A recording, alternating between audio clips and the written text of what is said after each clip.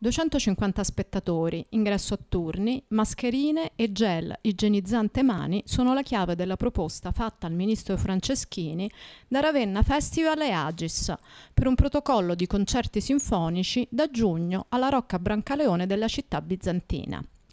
Il progetto sarà presentato adesso alla task force incaricata dal Presidente del Consiglio di gestire la fase 2.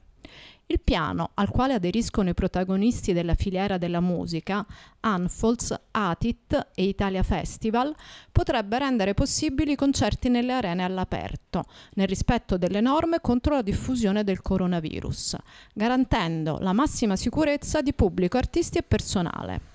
Il modello di riferimento rappresenta un caso di studio cui guardano con favore e speranza anche altri festival e teatri italiani per ritornare alle esecuzioni live nell'estate 2020 e permette di accogliere fino a 250 spettatori, ospitare sul palco orchestre fino a 62 elementi.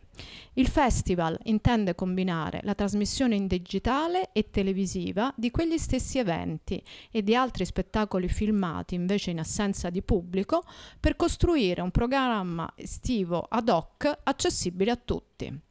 Ravenna Festival vuole così lanciare un segnale di attività e desiderio di ricominciare anche all'interno dei limiti imposti da un contesto senza precedenti come quello che il Paese sta attraversando.